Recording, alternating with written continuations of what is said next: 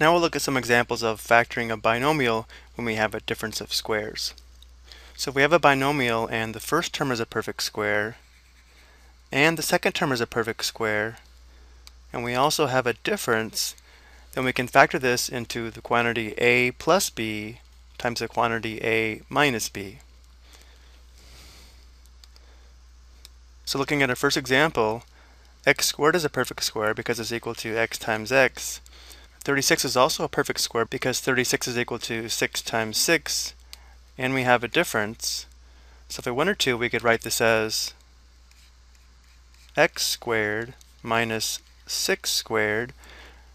Looking at our formula, notice that a is equal to x and b is equal to 6. Which means this will factor as a perfect square, where we'll have two binomial factors. One factor will be x plus 6, and one factor will be x minus 6. Now this is one time when it is nice to have this formula, but this can also be related to when we were factoring trinomials when a was equal to 1. What I mean by that is we could think of this as x squared plus 0x minus 36 and in this form, we would be asking what factors of negative 36 would add to 0. And notice how it would be positive 6 times negative 6, which would give us a factor of x plus 6 and a factor of x minus 6. Looking at our second example, again notice the first term is a perfect square because x times x is equal to x squared. The second term is also a perfect square because 4 times 4 is equal to 16. And we have a difference.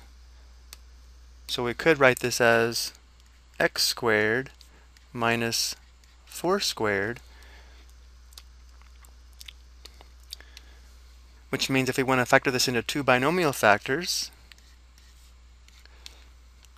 one factor would be x plus 4, and one factor would be x minus 4. Or again, if we wanted to, we could think of this as x squared plus 0x minus 16, and then ask what factors of negative 16 add to 0. And once again, that would be a positive 4 and a negative 4. Notice how we have a factor of x plus 4 and a factor of x minus 4. Looking at our next example, it will be easier if we just apply the formula. Again, notice the first term is a perfect square because 10 times 10 is equal to 100. The second term is a perfect square because 3x times 3x equals 9x squared. And we have a difference. So we could write this as 10 squared minus 3x squared, which means we can factor this into two binomial factors, where one factor will be 10 plus 3x, and one factor will be 10 minus 3x.